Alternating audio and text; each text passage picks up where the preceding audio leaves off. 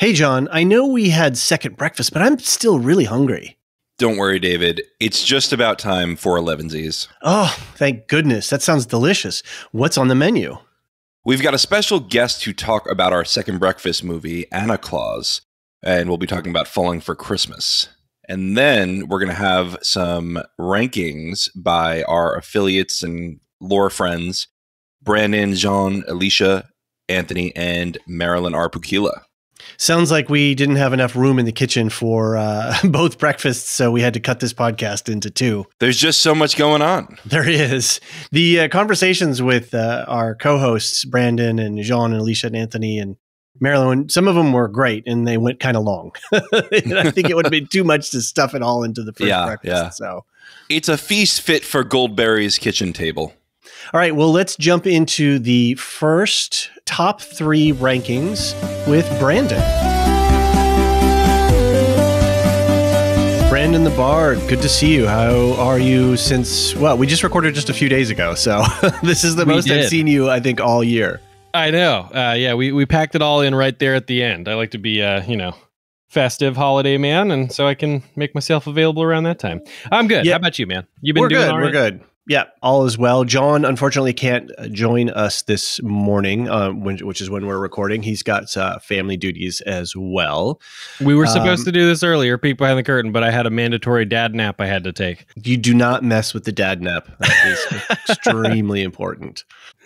Yeah, and you had Sorry, gone to a, an ice festival thing, right? And so obviously you were completely exhausted by the fact that you were surrounded by a horde of screaming children. Oh yeah, Disney on Ice. We got to see that. Yeah, our our oldest daughter was she had a blast. I cried. It was great. Awesome. Fabulous stuff. Well, last night we watched my uh our daughter had a friend over and they watched the Eras tour. The whole Oh. 3 hours of it. Hell yeah. So, we made them popcorn, we get a big batch of uh, double mac and cheese and then they had uh, my uh my wife and daughter made some cupcakes and then they painted them to look like Taylor Swift on the top. You know, they put some icing on it. Okay. blue eyes, red lipstick, brown bangs. They they look more like the Mr. Bill um, claymation figure than they did Taylor Swift, but it was really sweet. So Sounds like a delightful evening that I'd actually love to have. they loved it. They had a great time. They were singing and dancing, jumping on the couch and the table and stuff. So anyway, we're not here to talk about Taylor Swift. She already won Time Person of the Year. We are I'm here to talk about talk about her, but yeah, you your three top TV shows for the year. So, how was your year in television? I think we talked a little bit about this on the the Leave the World Behind podcast. You have not had a lot of freeboard in your viewing hours. Absolutely not. Uh, another peek behind the curtain. Uh, there's a baby right next to me, and I'm feeding her blueberries so she won't yell while we're trying to do this. Um, so most of the time- yell, it's she's Yeah, she's either giving you a thumbs up or a thumbs down on your on your top three picks. for sure. She's got some pretty strong opinions, as my media uh, will point out. But she, uh, yeah, like most of the time these days, if I if I have the TV to myself, because I also have a five year old, I am uh, trying to play a video game or something to just like, you know, just engage that part of my brain. So Mhm. I have not really consumed very much media in that I went over because we here at the Lorehounds, um, David has compiled like a giant list of all the TV that's been out that you know most of us are engaging with. I pointed out a couple. Well, no, just one. Th- that wasn't even last year. I think it was the year before with the Halo show. That Uh-huh. wasn't on the list, but it's coming next year, and I'm excited about it. Yep, it's Um, on the list. I've I, I've got a, a in- a blank entry for it, so I just have to go in and populate the details. Heck yeah. But I struggled really hard to come up with a top 10, and some of them are joke answers at best. Right, But, um, you had like Sesame Street and Bluey and stuff. well, Bluey is still my number one. Spoiler alert. uh oh, uh oh, oops, we spilled the beans. now the tension will be what slotted in for three and two. Absolutely. Do you want me to just go into why Bluey's my number one? Sure, why not? We're there. Okay. Uh, it, it it is just straight up the best show I've ever seen. For like they first they okay. You're gonna you're gonna find this sentiment across the internet as far as like parent culture with you know with with children around my children's age. is just like they nail it when it comes to that perfect balance of like family entertainment. You know, cringe as that that may sound, but like there's literally something for everybody. Like Okay. the dad is so relatable, the mom is relatable. There are episodes that are just like about one of the earlier episodes is about like what the what it feels like to send your child to sleep by themselves without you. Mm. Uh, like the most recent season that came out, it's been out in Australia for a while, but it just came out this year, so it counts as this year's entertainment. Uh, the most recent season that came out on Disney Plus had a uh, episode that was about the main character's aunt isn't able to have children, so she's always struggled with coming to visit her nieces because it makes her really heartbroken Oh, to be around children when she can't have them herself. So like it's like it's like real shit in this cartoon. And the episode's called onesies because they, you know, the kids run around and the, one of them acts like, uh, like the the onesie that she's wearing. So she's a like a like a mean tiger the whole time. But Okay. meanwhile, the the parents, the the adults in the show are struggling with this. So like, there's real stuff in there that you know the parents will sit there and be crying at the TV while the kids are laughing. So I mean, like it's a it's it it's a it's a good show. wow. I know a lot of like adults who don't have children that also enjoy the show. But if you do have kids, you're missing out if you're if you're not watching Bluey. If you if your kids will allow you to put that on the TV, I recommend it. It's on Disney Plus. we have completely missed the Bluey boat, and um, I don't. I, I wonder if uh, at eight uh, she would still be engaged with uh, the content. We'll Maybe Bluey's see. Bluey is seven, so she uh, okay. you know, and, and it's it's a smart show, so like it it doesn't talk down to children either. Right. That's one of the that's one of the good things about it. So I think older kids would like it, but I do have an example of probably like I think nine year olds that think it's for kids and they don't want to watch it. They want right. Right. they want to Yeah. watch you know the grown up kids on disney channel and like you know like the you know if it were around i don't know exactly because my kids aren't you know that age but like all that or whatever like from when i was a kid or keenan Right. and kel like that kind of show Right. um that's what they're into now but who knows Cool. man give it give it a whack if you can if you can get her to watch it then she might love it Sounds good. All right. Well, why don't we just uh, work our way down since we're at one? What's your number two? the last of us easily the best like Got it. I cannot believe how good it was. Um, I we obviously uh, me and uh, John did a podcast on the game, Yeah. so I I got like uh um, like hmm, what would you call it? Just a concentrated dose of The Last of Us this year with playing the game for the first time and the TV show, and it's just so so good. Um, the cast crushes it. The you know I, I guess we can talk about the game. So yeah, it's like the gold standard as far as like uh, a narrative game, uh, a great adaptation in general. Mhm. Like they they they pick and chose the right things, except that the show had a little bit less clicker action than than most of the game players would have liked. I know, Lily. That's that's that's right. Uh, but yeah, the uh, but yeah, what's not to say that it hasn't been said in many many hours of podcasting by right. folks like you and and myself. Yeah. Uh, great show. I'm sure this is not a controversial pick.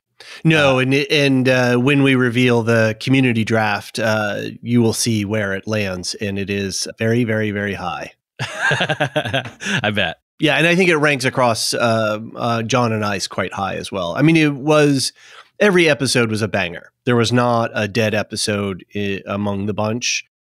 And as you said, the the acting and the plot and the adaptation was all just spot on. Huge feels. It was uh, a really emotionally big show. Yeah, I mean the closest thing to a filler episode was one of the best episodes of television I've ever seen with uh, with with Bill and uh, I can't Yeah, remember uh, his right. husband's name, but Yeah. holy shit, what a what an episode! And also like that's one of the things that the rare improvements on the adaptation. right. Like it was good in the game, but like the, it just blew it out of the water on the show. So Yeah, absolutely. Okay, what's your number three show? uh, leave the world behind. Actually, oh, Um, well, well, that's a movie though. That's true. We can click it down if you like. The number three show. Uh, we got to go way down the list. The next one, funny enough, is Sesame Street. Do we want to go Sesame Street or do we sure, want to go? not? Why the hell not? uh, always. Which version of Sesame Street is this? so s- Sesame didn't it move to HBO? They did. Now Max, I think, is Yep. the main place for them. So they've sort of changed format over the years. Uh, they almost lost their whole shirt for a while, which is very sad because much like me, even you, even probably hmm, my parents, Sesame Street has just always been there. Yeah. So it's kind of neat to follow it through the years. Hooper's store is still there. He's just obviously not running it anymore Mm-hmm. that they've changed to like a 30 minute thing and it's kind of kind of sad because like they're doing a lot of stuff that works well on a tablet for a kid so like Sure, right. uh you know to the point they're not really as long episode long plots anymore Right. Um, it's a lot of more you know stuff kid, the kids will look at and ignore oh she's throwing the blueberries we're almost done here well, we better wrap it up. maybe but Yeah. uh, i can actually go through the little list here because this is literally everything i watched okay. uh, I loved Righteous Gemstones. I didn't get to watch the whole thing. It's a great show, and this season seemed to be good. Mando, I thought was pretty all right. Ahsoka is just narrowly edging out Sister Wives. okay. I, I, I super didn't enjoy Ahsoka, and maybe we can get into this later. I loved seeing uh, Hayden's Anakin again. That was great. I loved some of their choices there, but most of the Disney Star Wars choices I didn't like. right. Yeah, so I guess we got a Bluey, we got a The Last of Us, and a Sesame Street as the top three. That Yeah. that is your TV viewing for the year. Right. What- what a year it has Indeed. well, what is your among that August list? Uh, what is your quote unquote guilty pleasure show? What is the show that you would never rank, but you just enjoy the heck out of? Probably Sesame Street, but uh, Sister Wives is definitely the one that I didn't I even so. watch. It was just on in the background, and I would avoid the television when my wife was watching it. Same thing with 90 Day, honestly, which I know John's a big fan of. You're right. and Yeah, I think that would what have to be is your biggest miss? Uh, I always feel like I miss the foundation. Uh, that's one that I uh, I know I'd love, and I just can't. I can't get around to doing it. Obviously, with my my schedule and with my interests, there's several of these shows that uh, I'd love to get to, but I never do. Mhm. But Foundation is just the one that's like, man, this is so like pitched right at me, and I'm just not watching it. Got it. Yeah, no, that's a that's a solid big miss for you for sure. Yeah. I think you would you would really dig it. And what is your most anticipated show? And it, again, it doesn't have to be for next year. It can be any time. Like, what is the thing that you're really excited for it to eventually return? I definitely have sort of a top three on here, but like Mm-hmm. realistically, The Last of Us, I want to Okay. see season two really bad. Halo, it's awful. It is that's your shit, guilty garbage pleasure for television. Yeah, Yeah. pretty much. But uh, you know, I just want to. I want to see what. You want to be in the gonna do. world, right? You want to Yeah, hang I wa- out. you want to see the armor. You want to see the aliens and all that stuff. Yeah, and I just want to be covered in the shit show that they're gonna do. Like it's just gonna be awful, and I want to bask in it. Nice. And then uh, obviously House of the Dragon. Like, goddamn, Yeah. it's gonna be great. Can't wait. I to think see this year's But going to be quote unquote fire. I know. Absolutely. You know, fire and blood. Yep. Uh, hopefully. Amazing. Brandon, well, thanks so very much for dropping in here and balancing uh, a microphone in one hand and a bottle in the other. Uh, Thank you. hopefully, your schedule, your life schedule, will open up a little bit this next year, so we'll get you on the mic a bit more. But really great to have you in the our podcasting community. You were our first actual official co-host because That's John wild. Wanted to, yeah, wanted to do the game thing. I definitely am the co-host, probably with the least amount of t- airtime. Yeah, I was just doing the I was just doing some accounting and you have the least amount of appearances. Well, there's I think Moses overall with One Piece, but that's specifically just for a very niche show. So For sure. And we got something in the can, but that's gonna be coming eventually. But yeah, like uh we we got some we got some irons in the fire. We're gonna, we're Yeah. gonna be recording more. Hopefully, yeah, this one lets me go a little bit longer and record more things. But I, I had a lot of fun recording the other day doing um the one shot for the Leave the World Behind. I loved that. So looking forward to doing more with you guys in the new year. It's gonna be absolutely. be I just saw Godzilla last night, Godzilla minus one. So so jealous. Was it good? uh it was it was interesting in in a lot of different well, we need to talk about we need a podcast to talk about it. So That's true. That's true. if you get around to seeing it, we can do a one shot for it. I would love to do that. I might I might be able to sneak away from my house for a little while. Sounds good. Brandon, thanks so very much. Have a great rest of your holidays, and we look forward to seeing you more on the mic in 2024. Thanks a lot. You too, man. Jean, welcome. Thank you for jumping on with us. How you doing? I'm good, man. Thank you for having me, guys. Yeah, absolutely. How's your TV year been? What are you how are you feeling about the year in in visual content? I'm pretty happy with 2023. Oh yeah? Um yeah, I think 2023 was a pretty good year aside from one major uh that we won't ever talk about, but no, you know, we don't talk about named. that show. But um yeah, 2023 was was a good year for me. I, I, I thoroughly enjoyed most of the things that I watched. uh-huh. And um yeah, Good. That's awesome. It's been a weird back half of the year for some reason with releases. Not even necessarily strike related. Just you know, there's there. I just felt like there was a whole bunch of shows that got rushed out at the end, and yeah, it was. I think uh, so. I think so. I think, but on the whole, the Yeah. things that I actually sat down and watched, and I I like. You know, there's Nice. not there are not a lot of big complaints for me. Excellent, excellent. Why don't we just jump right in? And what is your number three for the year? That would be Snowfall, the final season. Snowfall. God, I've never yeah. heard of this in my life. You'll have to pitch it to me. What's so the pitch? Snow, Snowfall tells the story of a young drug dealer coming up in L.A. in the '80s at the inception of crack cocaine, uh, Mhm. working I with remember um, hearing about this. Working with the CIA agent and you know nefarious South American, Central American um, drug cartels, and his slow descent into madness. Basically, this was probably one of my top crime stories that I've watched on TV. Mhm. And this last season, you know, Franklin, that's the main character's name. He was totally, um, it was engaging to watch him become the thing that he said that even though he was dealing drugs and he knew what he was doing, the way it ended, it was not pretty. And to watch him descend into that madness was really great. It was really great. So what was this? Was a this is an a Hulu show? FX on Hulu. Yes, on that. Yeah. hmm Interesting. They're doing pretty So- well with that. Like I, every time I see that branding, I go, "Huh, that might be good." Right. FX right. is like a mini HBO. Yeah, but they Yeah, got think you know the Bear, they've got Fargo, and now this. That's what I'm saying. And Yeah, then and then. Hulu is a is a solid streamer. So you know it's a Yeah. good platform. Yeah. Well, now they're merging it into Disney, so we'll see right, how it's that gonna be a tile on Disney, which should it should be a, a benefit to Disney, not the other way around. Not the other way around, definitely. Yeah, then, you well, know, we'll, we'll um, see because it's it's complicated. I don't want to talk about that right now. Let's let's talk about what you like, John.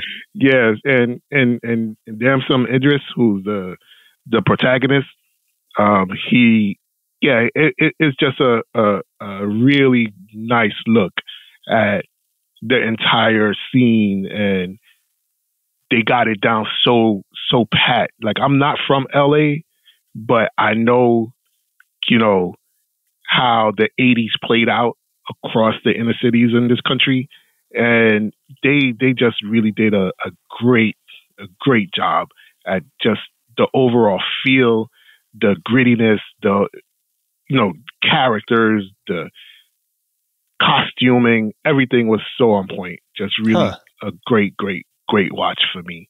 Trying to find similar. Go ahead. I was just gonna say I'm gonna put this on my deep background watch list. You know, things that I I know I should watch at some point. Yeah, and I'm probably going to rewatch the entire series sometime in 24. Right on. so yeah, but it was really, really good. I was really happy with that. And um, yeah. So Snowfall takes number three for me. nice. Okay, cool. All right. Uh, what's your number two? That would be Loki. No, that's a Um, yeah. big rank. Yeah, that would be Loki. That would be. I, I absolutely love the the season. I, Uh-huh. there's, you know, we we went in depth uh, uh, on it. Um, you you heard me every week. You just laud the the program, the show. I just really, I thought it it did everything that it needed to do, and it Uh-huh. did everything that I wanted it to do. Nice.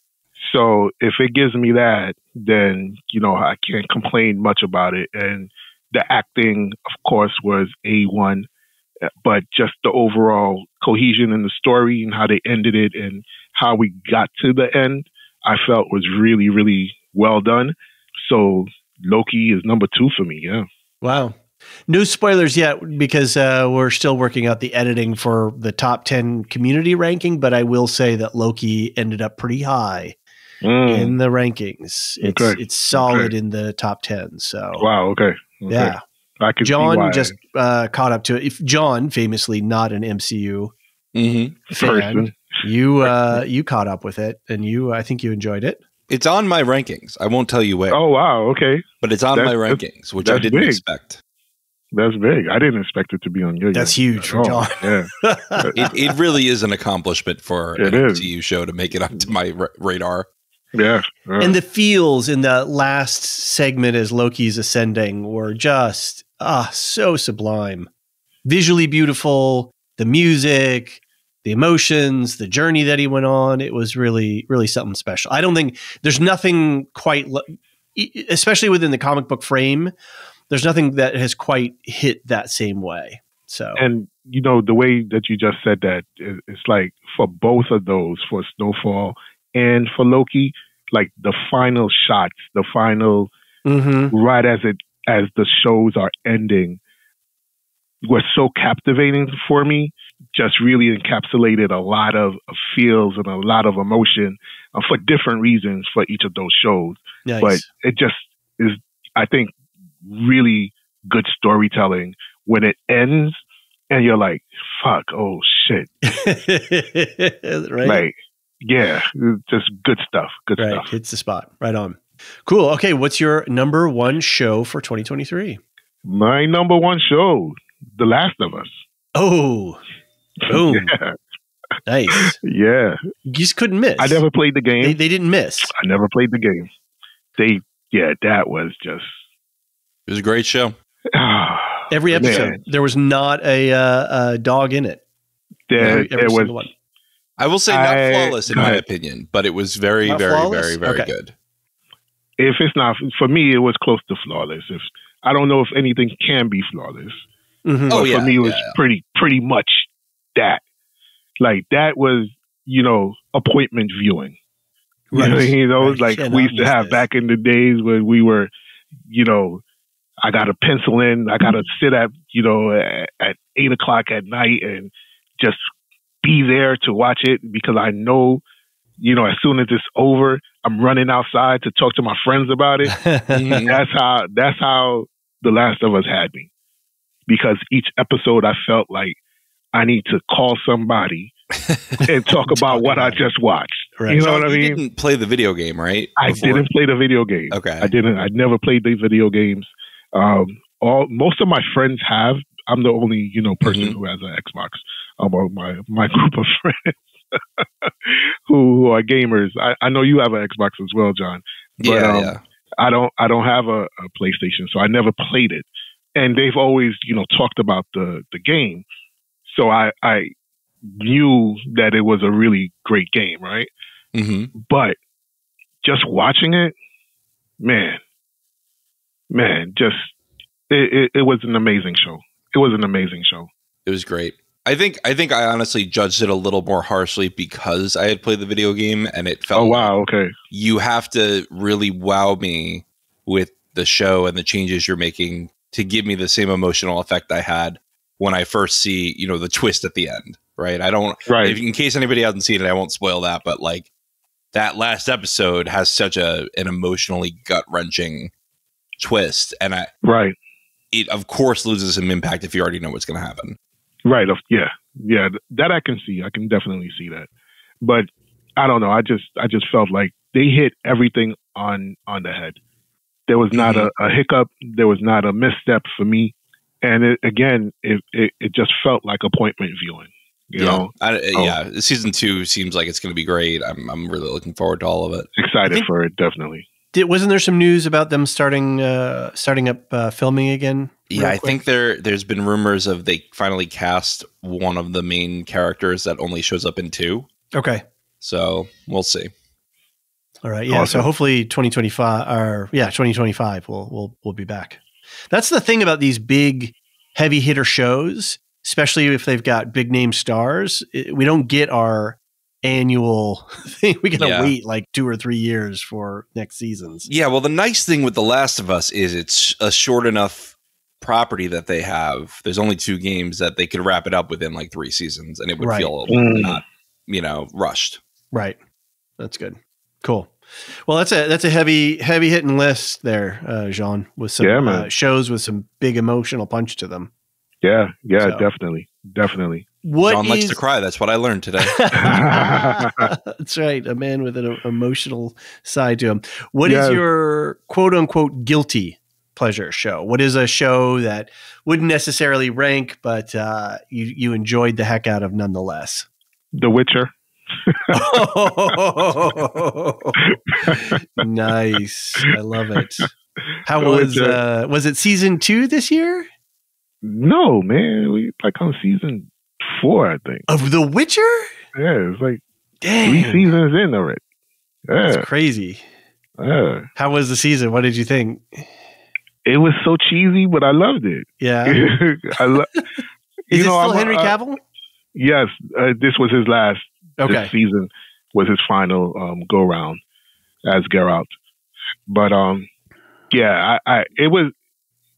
It doesn't compare to the top three that I no, just right? named, Yeah, right? that's why this is the Doesn't- quote unquote guilty pleasure. yeah, it uh, doesn't compare to category. those, but it was just fun watching. Nice. It, it was, it, you know, I wasn't into the story. You know, I, I've played the game, Mhm. so um, I haven't read the books, unfortunately. Um, but it was just, you know, turn it on and, and zone out, and I, Right. and I appreciated it for that. right. Right. So I, I, Some I goofy entertainment. yeah, goofy enter- entertainment, and I got to see you know uh, live action Geralt, which is you know so cool because I you know I've played the games, sure. so right on. that's that's why it, it's my guilty pleasure. Mm. Good stuff. And what was your biggest miss? The Bear Mm. haven't caught Gotta up. do it. I got it. I Oh, know. I know. I Did you know. watch season one? Um, yes. okay. Oh, Um, dude. yeah. You're in for a treat. yeah, I haven't done thi- it. I think season Oh. two is better, and It that's is. hard Wow. for a to do. It's So wow. way better. Wow. Okay. And that's the thing about Yeah. a show like that is is that wait, how do you how do you come off a season 1 like that and Up do a season 2 even better and they deliver? You know, Huh. it's it's it's truly extraordinary. Yeah. Yeah. So, you know, I'm going to catch up hopefully over the holidays, the next few weeks, early in 2024. I'll rectify that that miss. And what is your biggest anticipated returning show? And again, it can be anything. We, you know, it could be even something that's a couple years out. Daredevil. Ah, the new one. Yeah, the new Daredevil. Uh-huh. Um, I think that's because I think it's gonna. I I enjoyed those Netflix, uh, the Netflix Marvel shows. what did they call it? Was the and- Defenderverse? Yeah. Uh-huh. I don't know why they call it because that Defender uh, ensemble show was terrible. But it was. it was. Yeah. I watched most of all those, and Luke Cage was great. Da- early Daredevil was great, yeah, and uh, Jessica, Jessica Jones, Jones. great. Then they had Defenders and Iron, Iron Fist, Fist. were Not- horrible, yes, horrible. yes, terrible. I'm, I'm excited to see Charlie Cox back uh, as as our hero. Yeah, and I want to see where they where they take it, bringing those characters or that character right now into the MCU main, um, which Did is you something. hear about in the Spider-Man video game, John? They in in the first one, I think it was, they had evicted on their office in the Spider-Man video game. I did not in the second one, they had they took the sign down. So now get it just, out it just here. has Nelson and Mullins oh wow, um, or That's Nelson great. Murdock. That's- sorry. that's really cool. That's Yeah. oh man, that's awesome. That is awesome. I did not know that. So I think I think they're hinting that they're bringing it back. Yeah, that they're bringing them back. That's really cool. That's great. So yeah, I'm I'm I'm waiting for that. I I, I want those characters, and I'm hoping that Daredevil does well enough that we get these other characters as well from the the Netflix um Marvel shows. That'd be Right. great. Bring back David Tennant as Kilgrave. I'll be happy. Yeah, man, come on. We got to get more Purple Man. Got to get, got to do it. Got to do Great it. Great villain. I'll watch him in anything. So Yeah, just any basically. excuse to have him on screen. Yeah, definitely. So, um, and you and Elysia are still in the kitchen cooking. We're waiting to Yeah, see what yeah, you guys so are going to serve up. So We're gonna we're gonna be doing some Marvel DC things in in 2024. You know, comic book superhero comparisons um, loosely, right. and you know we'll talk a little bit more about that as we talk a little bit more about it amongst That's right. ourselves. Um, so that's going to be great to to to have on our plate and and to look out for in 2024. Yeah. Well, Jean, thank you so much for all that you've contributed this last year, and it's really great to have you in the corner of that with uh, comics and um, video games as well. And uh, yeah, it's it's uh, I don't know, it's just been a, a great fun. It's fun to assemble our little team here, and it's uh, Absolutely. really, Oh, really. Absolutely. loved having you on the pod. So It's been an, it's been uh, a great thing for me. I get to talk about all these things that I love and, Right. and do it with people that are really cool. So this is this is awesome. Glad to have you part of the the lore fam. Ah, I don't know. Lore don't know fam. where I'm, going I'm, gonna, I'm gonna I'm Uh, gonna use that. lore fam, gonna use hashtag that. lore fam. Lore fam. I'm gonna do that. it. It Yeah. works. It works. right. I think so. I think so. I tried. Yeah, you you've got more more. You succeed more often than you fail, John. That's- But that's- we- I just throw shit out and it, it sticks. I know, but I'm still waiting If for you a new say song. enough things, some of something's gonna work. That's how I feel. So. Thank you, guys. All right, Jean. Thank you. Have a great holidays, and uh, we'll be out with you soon. All right, everybody, be well.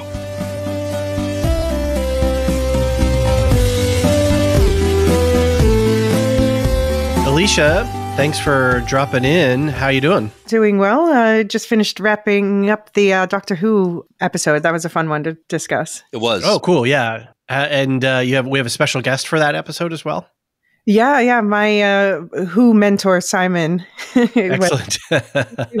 He's, he grew up with. Uh, he's from the UK. He's from England. He grew up with the whole culture of Who. So it's a different perspective than we have. well, fingers crossed. The new season will be, uh, and with the new Doctor, will be fun and exciting, and you guys will get to do some coverage on it. yeah. Yeah, off to a promising start.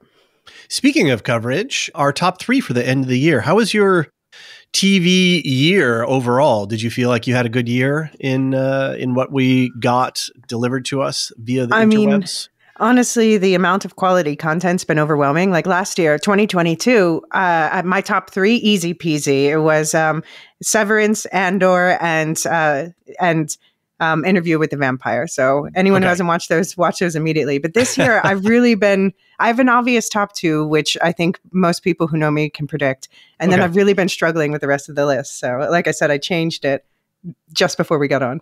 Excellent. Yeah. All right. Well, let's start with your top three. What is your number three show for 2023? Oh, we're starting with number three. Uh, oh, yeah. that's yeah. Well, one- otherwise this podcast Yeah, would be okay. for like four hours long. No, no, no. I, I meant uh, rather than counting down to three, because uh, the three is the one that I struggle with the most. You have to build suspense. That's yeah, right. f- fair enough. But uh, doesn't everyone know what I'm going to say for number one? But okay. I think I have a bet. I'd take that bet. Uh, for number three, ooh, we're going to land on The Last of Us. Ooh, okay, too okay. All right. All right. That was that was tough. Like, uh, apologies to the Fall of House of Usher, Gilded Age, Rick and Morty. right. It- it- when you of the five level, it really does become a battle of millimeters. Yeah. And it's also like, what what what parameters am I judging on? You know? Exactly. Yeah. That's why I had to develop a whole schematic thing for myself to try to resolve those conflicts. Right. So Last of Us, that was uh it was it was a really every I it it really ranks solid in the community draft and uh we'll reveal the the final when we do, but it's um yeah, it was a really good season. It was solid. Yeah, just individual episodes and overarching story. And yes, I am a fan of the video game, so that could play a role too. Yeah, John and a fan of the cast. Yeah. John was when it was coming up and we were deciding on, on what we were going to do. You were John. You were very excited when we decided to make the decision. Pro pro The Last of Us for sure. Yeah, Um, and then Brandon and I even covered the video game because we were trying to keep the train going. and hopefully we'll get a great season two. I'm really looking forward Yeah. to it. Yeah. All right, what is your mm, top two? Uh, so number two Yeah. is uh, Silo. Very good. I mean, it was genuinely, of course, I have a bias, and I think that I rank anything that I cover in depth a little bit higher in most cases, other than the show that shall not be named.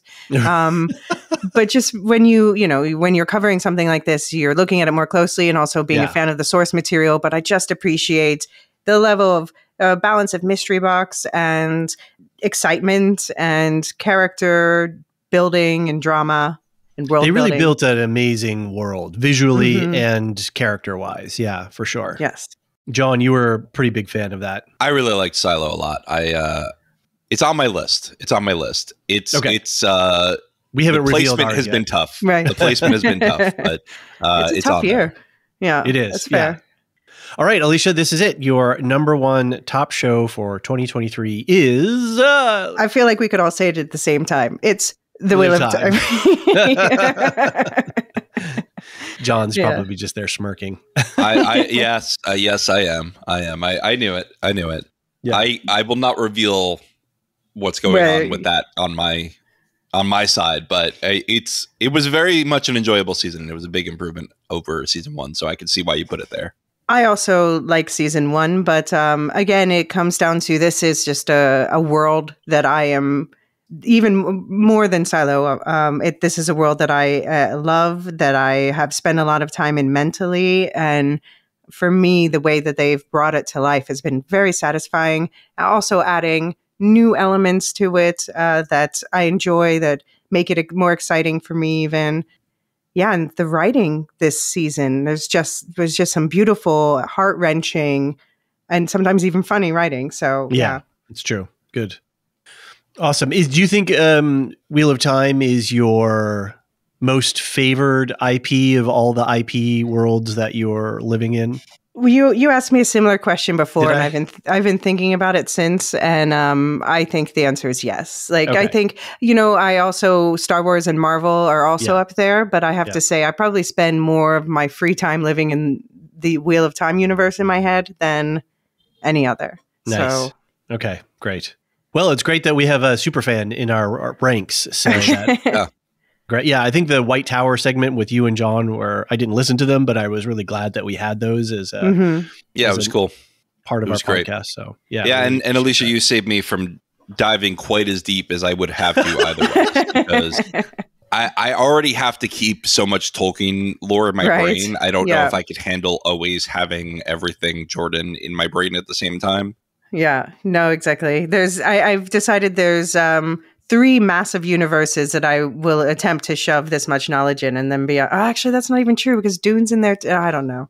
No, my no, brain's no. a, my brain's a That's messy one. place. My brain's like the TARDIS with different rooms for different IPs. Yeah. Yeah, it has to be right. Yeah. Don't don't go into Dr. Donna territory where you can't store it in your brain. Yeah, that's true. Okay, so this is your uh, chance for your quote unquote guilty pleasure. We um, we were admonished to say that you know pleasure shouldn't be guiltified in in that way. But what is a show Oh, no. that what's I'm that? ashamed of this. I'm ashamed. Oh, of you're this ashamed. but there's I rarely make time to watch um like reality crap reality, you Uh-huh. know, romance. I think John, what is yours? shows. It's the 90 the- Day Fiance. That's it. Yeah. Oh, I- okay. I watch I still all haven't time. watched that one. Yeah. Uh, but I watched there was a new one on Amazon called Twin Love, and it's where they have Just the this title alone. identical twins, and then they put them in separate houses, and then see like let them date and see how they if they date the same people and stuff, and then they are eliminated, and it ends up breaking up couples. And I watched this entire season in about two or three days. Um, That's amazing. That's awesome. It's not a good show. It's not, but It's a fun show though. I mean, it's sometimes we just need that pure base entertainment, right? yeah, Very It's good. really okay. Just enjoy yourself. exactly. Perfect. okay, and what was your biggest miss for the year? Uh, that's another really tough question because there are so many. It was such a packed there year. could be. I've got like two or three in my category. Yeah. So I think I ultimately settled on Hotel V just because I feel like I can't Gen even V watch. or Hotel. V? Sorry, sorry, jo- Gen, Gen V. V. Sorry, Got sorry. it. Welcome to the Hotel Yeah. California. But uh, yeah, I can't even dive into the new uh, boys trailers yet because I haven't caught up on. Ho- uh, sorry, Gen V. And I think the new boys season is going to pick up where Gen V Yep. left off, right? Yeah. That's what it sounds like. And I hear it's quite good. So I really need to do that. And yeah, Blue Eyed Samurai and a bunch of other things and Queen Charlotte and yep. Yeah. There's a lot. it was a, there was a lot and they pushed a lot right at the end of the year it was a bit of mm-hmm. a, bit of a mess cool and your wait is your number one show the same as your most anticipated return Yes, of course. that was not a hard guess yeah. is there anything besides that obviously is there anything else that would Uh, fit in as a slightly lower tier for your most Mo- anticipated? most anticipated non Wheel of Time return? yes Well, then Silo. I mean, Silo season two. okay more than Yeah. andor Um, ooh. You can have a double you can have a double truck there you can I think, well, I think more than Andor. Well, because then it's like I would actually rank Interview with the Vampire above Andor, and maybe that's what I should Oh, say. heresy oh no, it's a really good show. If anyone anyone who watches it, the writing is just spectacular. Really? Yeah, it is. yeah you were you've been talking it up for a while It's a really good show. Um, so I'm I and they've been teasing also the next season because it's also another one of those things where like I don't know quite what they're changing from the books. It's a lot of fun to speculate. Right, right. So it's not a, it's not the books. It's not the um, and they've definitely they've made. I mean, it it is and it isn't. Like okay. The like all the slider moves more towards inspiration. no, no, no, no, no. I wouldn't Okay. say that. I wouldn't say Oh, that. really? There there are some significant changes made, but it's Okay. very much an adaptation. Okay, that's cool. Great. Well, Elysia, thanks so much for dropping in. Thank you so much for being such a vibrant and exciting part of our community. We are so pleased to have you with us, and we're really looking forward to an exciting 2023. John, any final words for Elysia? The wheel weaves, and looking forward to uh, chatting with you about season three. Hopefully, we get it next The year light be with you. we've. Uh, I think they've they've filmed it already, right? Well, yeah, it's almost. Uh, last I heard, it was about to be done. They were just filming some last things in Okay. uh, the waste, South Africa. I mean, sorry. God, could you Fair imagine uh, Rings of Power, House of the Dragon, and Wheel of Time all in 2024? God, wow, that's, that, that would be intense. Clear your fantasy TV is back. That's right. TV is back, baby. Fantasy TV, especially too. Yeah, for sure. All right, Elysia, thanks so much. Any final words for the the listeners? I just uh, hope that you guys all have a great holiday season, and it's been so nice to share my passions with you all, and uh, can't wait to do that again in 2024. Anthony, thanks for joining us for this year end wrap up and your top three. How are how are you? How are how has your TV year been? Well, it's always a pleasure. I I've really enjoyed a few shows and um, trying to get caught up on a few things that I've heard are are decent watches. Right, and And we're then- recording this in sort of earlyish December, so there's still some late uh, late entries trying to run for the the finish line here. Mm-hmm. Mm-hmm. Now, I I for my the things that if I was just going to settled in and enjoy something on my my own, it would probably be an old movie. Mm-hmm. Uh, but on saying that, there still has been some t- television this year that I've really, really enjoyed. I was thinking about this today when I was looking at your email with your picks and stuff. Are you are you a TV hobbyist? I, I don't know this about you. Are you somebody who like TV is a thing for you, or are you very selective and are looking at the quality of the show? I mean, and of course, we're all lucky in that we get to podcast because we want to podcast. Mm-hmm. And so I see some of your picks are are definitely related to that. But like, are you a hobbyist around television? I mean, I never used to be, and I would I would would have never said that about myself. I think I, film has always been kind of the thing that I ha- I most loved, and then Gotcha. about I would say about 15 years ago there was a major shift and I so I I felt like at that time I, I don't know when to pinpoint it you know somewhere between the wire and game of thrones Mm-hmm. there was this shift where the best writing and the best acting you would see on a scripted TV series Right. Yeah. Mhm. and and there was a little bit of a fall off at the the movie theaters. Now it's kind of like a it's kind of like a crapshoot. Like you you could you could easily see something like Oppenheimer and be blown away. No pun intended. And but you know, but then you could also, you know, run into something like Chernobyl and be blown away. totally. Definitely pun intended that time. So yeah, I, I guess I was never really a TV guy much until more recently. And now there there are certain things that I there are certain shows that I love as much as any movie that I've ever seen.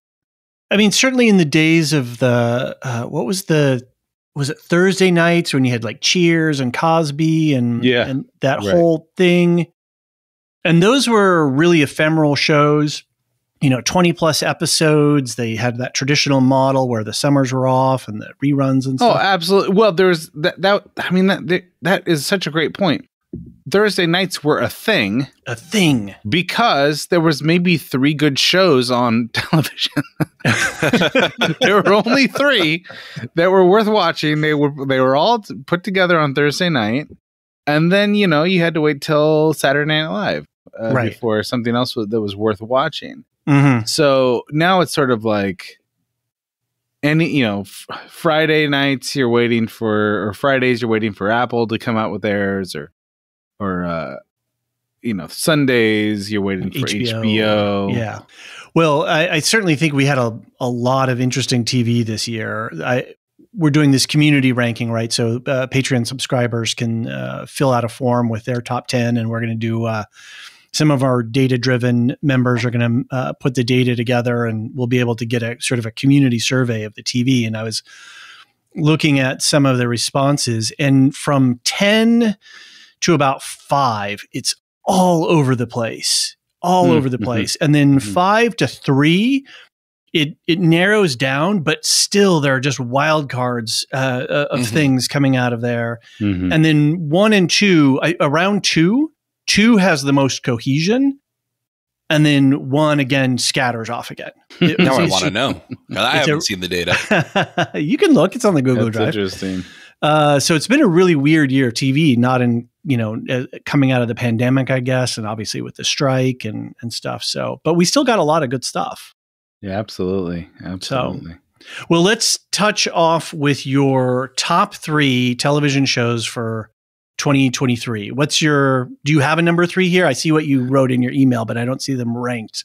Does I it matter? do. I think you? that I think yeah, I think that the third overall pick is the gold. I don't know Aha. if you're familiar with the gold. Oh, I am familiar with the gold. Love the gold. Used to Loved live it. in England. Did not live in the England in the early '80s when this is set, but Mhm. this is based on a real world bank heist. Yep. and um, it's an ensemble cast. You might not, listeners may not recognize a lot of the actors, but the patriarch from Downton Abbey is a is a Hugh Chief- Bonneville. yeah, that's right. Yep. So he's in it, and um, a lot of you know Brits monologuing about how England is you know based on a class system, Right. and uh, I I love it. Ate, ate it up.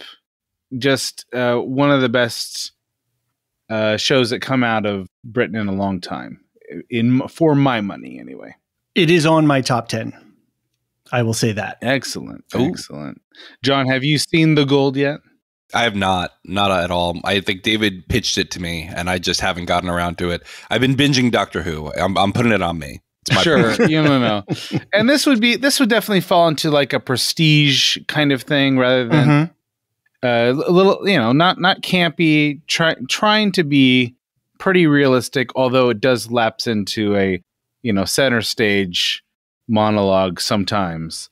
You know if if you've ever had any kind of affinity with british culture this is a a, a really fun show to watch Well, well, you heard the last thing I said, right? I'm binging Doctor Who, so I think I think I'd like it. I think I'd like it. sure We- All right. We'll have to talk another time about uh, the UK because I also lived in the UK for a number of years. And was oh you did where were you at there I was in London uh, in a couple Okay. of different places in London. So yeah, we did. We experienced the two the two different Englands. I was in Durham, so your your experience in London was night and day from my experience in the coal the the, the vacant coal mines of Durham, Mm. England. Mm. Um, So number two, or the number two on my list. Are you ready for that? Yes. I'm ready. All right. Uh, this this of course is uh, is going to be on everyone's top three. This is the Bear. Absolutely Uh, amazing show. I just I honestly didn't think that season two would be better than season one. And I think maybe it wasn't. Maybe season one was better, but the Christmas episode with the dish of the seven fishes. Oh, what a, what an amazing I, I I literally watched that episode three times. And my wife was like, How can you watch that again? It's mm-hmm. it's such It's a so good. it's it's it's so tense, but there's just so, so many really funny moments, and it's just a tour de force in filmmaking. yeah. I feel like that that hour of television is is as good as anything I saw in a theater over the last ten years. Mhm. And then when you wrap it with the other episodes about the side plots of the characters, Yeah. and when uh, I forget what's his name goes to Copenhagen and stuff like that, the those episodes, some of those episodes are so sublime Yeah, and and just in these quiet moments and and these evolutions of Carmy's characters and stuff, and then you have that cacophony that is the Christmas episode, mm-hmm. but it's exquisite in its design and its And it- execution. yeah. There's so much, so many of these emotional threads are leading to that episode, and then Mhm. that ex episode kind of circles back and explains why so many people in this family are messed up. Right? yeah, I I think that episode and just the overall structure of this season made it Mhm. stronger than season one for me. I mean, season one I, I really liked, but it I had a false start on it. Like I, I had to come back Mm. to it and restart it. And uh, it, it didn't make me want to rush to the end. Season two, I was in a marathon towards the end Mhm. because I was just like, this is the best TV I've seen all year, pretty much. Yeah. Now, John, you are Italian. Did you was your did you have a big family, big Italian family? Well, yes, but my holidays were all with my Irish side of the family where nobody talks. Uh, so you were you were quietly suffering and reading poetry and whatnot. Indeed. Indeed. well, I I'm one of six children, a big Italian family, lots of aunts and uncles and cousins and people who not related to us at all. And uh, it was always it was always chaos. Yeah. Anyway, so yeah, the bear was not my number two. Great. Number one Here on my is. list is Reservation Dogs. Nice. Very And nice. this is this show is maybe in my top five shows of all time. And it's not a it, it- it's not a show for everyone. It's kind of an acquired taste. It's not like um it's not like a sitcom where you everyone knows where the laugh lines are. It's like you kind of have to fall in love with the character and know that a situation or a particular person is funny um, but very creative storytelling, um, a bit of surrealistic uh, casting, and you know there, there there are dream elements in this film that are crucial to the plot. And uh, I don't know, it's it's unlike any comedy I've ever seen on television, and I just fell in love with the characters in the show. yeah. John, have you um, watched any Reservation Dogs? I don't even really know what it is. Like I've heard of the name. Right, I, yeah. I don't know what it is at all. Do you Hulu at all? I I do Hulu. I I bared and I Yeah. I uh yeah. I would say- Hulu. I would say, you know, if if you kind of like quirky comedies, I would say give it three episodes or whatever. But um, I, I you know, if you don't like it, then just all don't right. have to ever All think right. about it again. I do like quirky comedy. I like uh, But you know, if you like- Development, Thirty Rock, things like yeah, that. so- yeah, sure, yeah, yeah. For me, it's on my biggest miss. I have not watched. Uh, I, I think it, my spouse and I watched episode one, season one, when it came out, Yeah. and then we just kind of never got back around into it. And I keep the the season, the year will go by, and I'm like, oh Mm. dang, I didn't watch Reservation Dogs. And then it was like, oh, and then I heard this season was phenomenal, and that they really landed the plane on this one, and it was just a, a gorgeous show. And I feel like I need to be in the space for it. Right.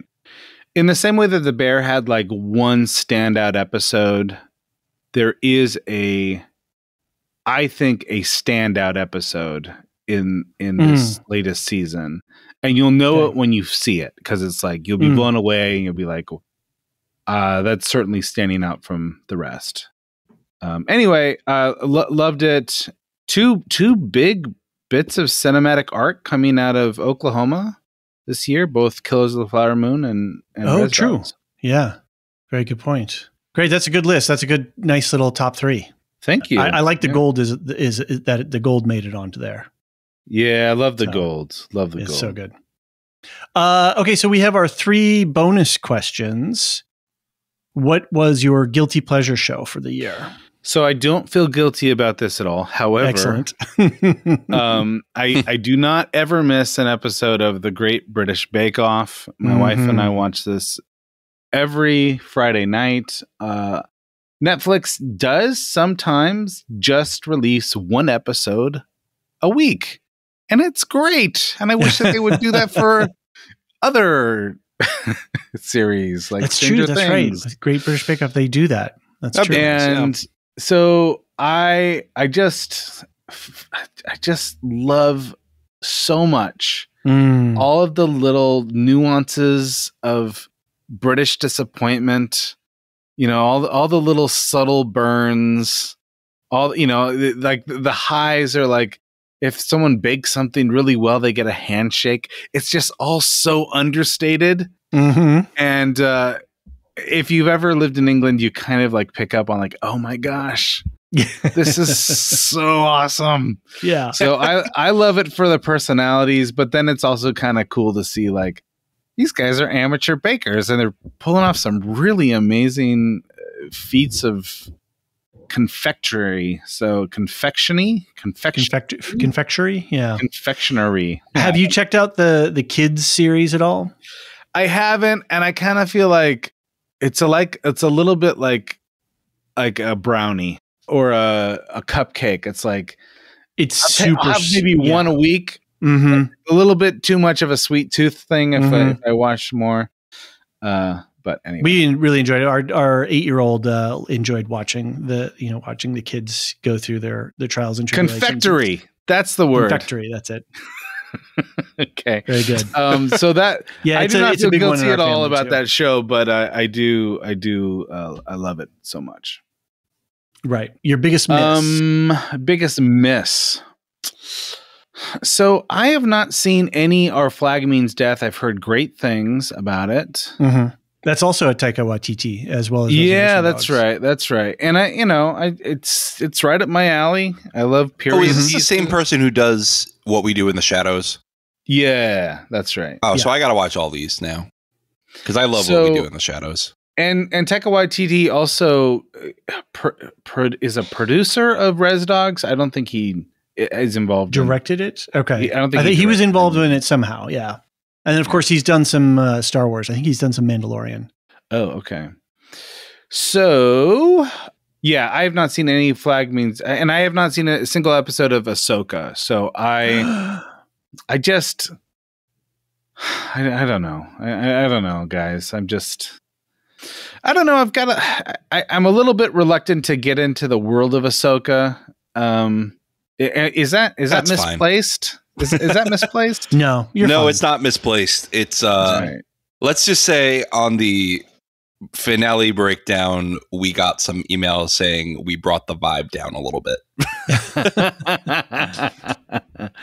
I don't know. Like, I, strong honestly, what I've been doing lately with these shows, like uh, Book of Boba Fett, I watched the first episode. No, not interested, and I just watched the season finale, and that was it. I was like, that's that's what that's all I need. I, I kind of can get caught up just watching the first episode and the season finale. Did the, did the same thing with Loki? Oh, I was going to say Book of Boba Fett is largely uh, relegated to the, the dumpster fire Yeah. uh, out back. So I, don't- I think don't worry about Book of Boba Ahsoka to me was seven great episodes of TV followed by a clunker. Mm. and uh, but uh, you just mentioned Loki. Loki, I will say, I am not a Marvel guy. That's well known. I loved Loki. I thought it was excellent TV, just on its own. Yeah. Yeah. Did you like this this most recent season? Yeah, I really did. Okay, I liked it. all All right. right, it ended really well. Okay, all right. I yeah, I feel like I'll probably try out Ahsoka at some point. Um I, I think I needed a little bit of a break from Star Wars television. Sure. That's fair. That's fair. Mhm. And I'm curious about your anticipated returns. Would you be saying these if you weren't podcasting about them? Mm. I think I would. Okay. I think I, House of the Dragon for sure. I, I mean, Game of Thrones is easily my favorite show of all time, Mm. and and I and I did not, I did not enjoy House of the Dragon as much as my favorite show of all time, Mhm. but I really liked it. I really liked House of the Dragon, and it's actually I've I've rewatched several episodes, uh, and it's grown on me Okay. and I think that uh, Hopefully not like the uh, Stoneman disease. okay. Um, Sorry. I just think that season two is going to be better. I Okay. think that they're going to expand, and the story gets more compelling. I think that there are more uh, elaborate and more complex uh, set pieces that happen season two. So I'm really looking forward to that. And then, of course, Severance is is uh, you you know my love for Severance. Mhm. And, uh, You've been, yeah, you and Steve have been knocking it out with the just uh, not a one. false move in the entire first season. Mhm.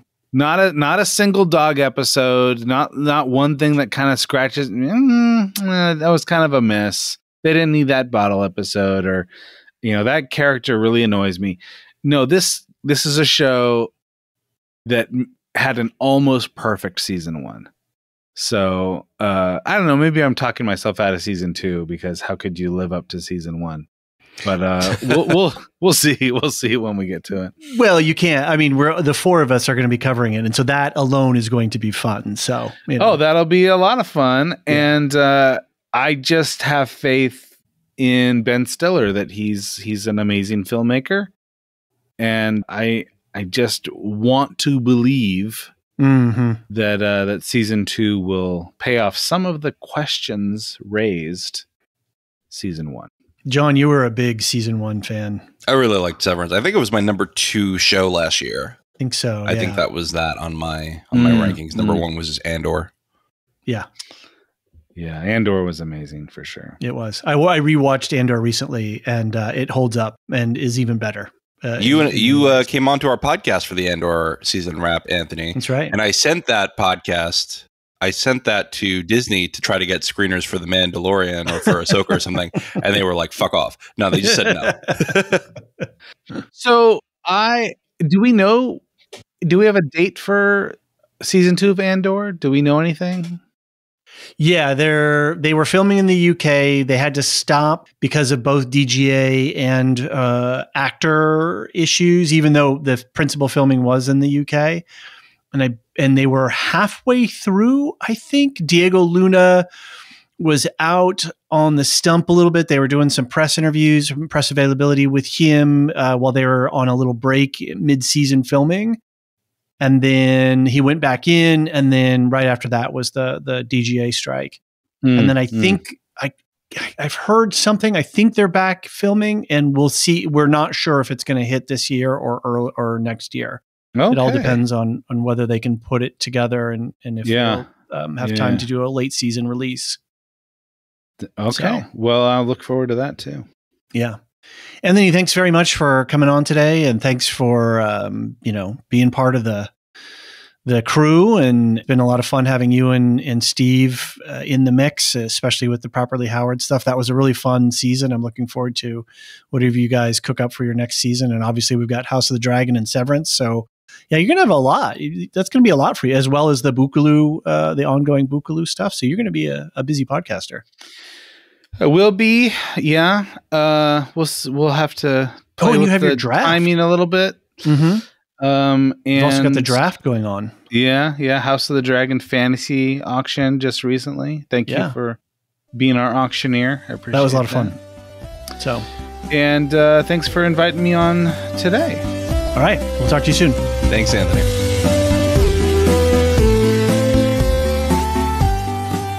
Marilyn, thanks for being here for our year-end review of shows. Of course. How's your TV viewing been this year? How was your How was your year in TV?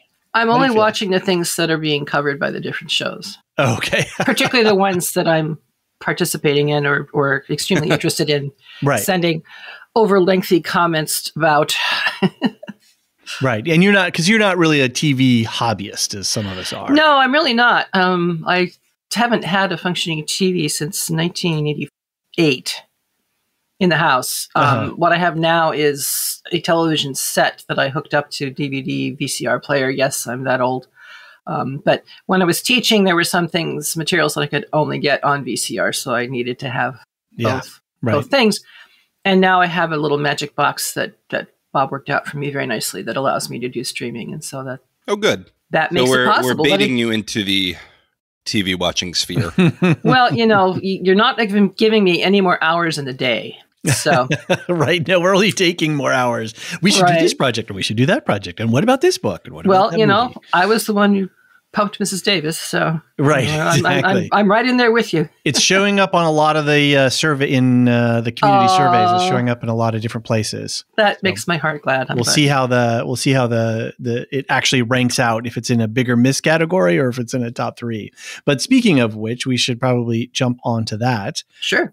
Why don't we lead off with your third most favorite television show of 2023? That would be Loki. Oh, Very Yes. nice. It was um, it was a delightful surprise. I wasn't expecting it to be as marvelous as it was. uh huh. um, the first season drew me in because in the first two episodes, suddenly Loki, who we are so accustomed to seeing, full of power, authority, grandiosity, ego, etc., is utterly powerless. Mm-hmm. He cannot do anything. He is completely, and I'm like, okay, this is interesting. Who are these people? How can they possibly override Loki? What's going on here? I want to know more. So that was what really drew me in. I mean, having an ashtray full of infinity stones, you know, that was pretty funny. what a it? perfect metaphor for we have power over you and you can't do anything about it. Um, and everything you thought that was important is not really all of a sudden, important. poof. Yeah, right. Exactly. I'm not a big fan of the whole multiverse, multiple timeline kind of stuff. So that, that kind of pulled it down for me. And I think sometimes the first season in particular, there was a lot of stuff in the middle that it just seemed to go on too long for me. Right. And I think that was largely due to the fact that I didn't know the comics. And so when I started to hear Jean talking about them, I thought, okay, this is great. This is really helpful because now I understand the connections. I understand why there is an alligator Loki, you know? Right. Um, right. Exactly. and and the fact that I, I I didn't have to listen to a podcast, I wanted to listen to the podcast, but the fact that I needed them in order to understand what was going on, that kind of dumped it down for me a little bit too. got it. You know, I, I shouldn't have to listen to two podcasts or read two books or whatever to understand what's going on here, at least in my opinion. Mushy middle first season, but the second season, again, they gave me the same stuff multiple times. Mhm. So, you know, we've watched Loki, you know, slip in and out of time five or six times. Right. Three would have done, right? Um, at least to me. It was fabulously done, well constructed, it was wonderfully conceived, and all of that. So, all right, I guess, you know, give the creators their due and let them have fun and, you know, show what they can do. The spaghettification in different places was Right. very elegantly done. It was. That was one of my favorite effects they did. It was very Yeah. cool. Yeah, Yeah. yeah, And the character developments, you know, the d- different people going in different directions and all that sort of thing, um, drew me in. But overwhelmingly, it was Loki's arc. Yeah. Watching him go from somebody who stood in a square in Germany and ordered everybody to kneel to him to somebody who gave himself over Right. Right. to the tending and care of others. And the use of Yggdrasil was spectacularly beautiful and very moving. Yeah. Um, And it was the character arc was really sublimely done. It was. It really brought us around, and I was not at all expecting where we landed. I know John, you just finished up the season as well. Uh, yeah, I just watched it like a week ago, a week Oh. before recording. So I really liked it. I mean, I, I didn't expect it to place on my top 10, but it's on there. I won't tell Yeah. David where it is. No, Uh, that's, it's that's a on there. secret.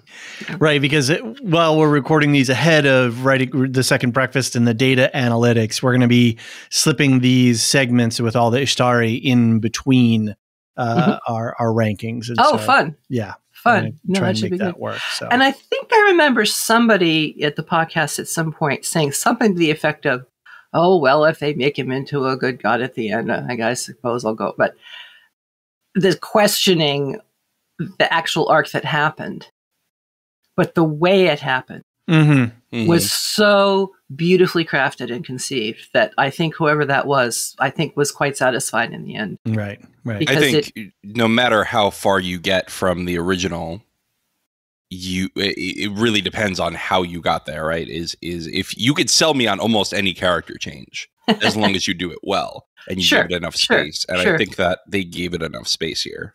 Yeah. Yes, they did. Espe- They did. especially because you had what was it centuries later, so he's had he's had time to uh, think about all this. Yeah, that was a little jazz hands, maybe, but still. I thought it was funny. I, I enjoyed it, especially you know they set it up. It was within the rules of their world. I was fine with it. That's true. That's absolutely true. and only a god. And they kept making this point about Loki being a god, and only a god could do that sort of centuries later time jump Mhm. thing. And you know what? I figured out three episodes earlier that only a god could do any of this. Right. And fun to see how initially Mobius asked Loki to, and Loki said, Oh no, I'm not doing this. Right. Mhm. and so there again, more character development, more Yeah. arc. Eventually he comes to the realization, I have to do this. Right. And I am willing to do it. Yes, and that And that was the, was the key. that was right earned. there. That It was earned. really earned. Yeah. That was earned. Yep. Great. Yep. Good pick. All right. What's your number two?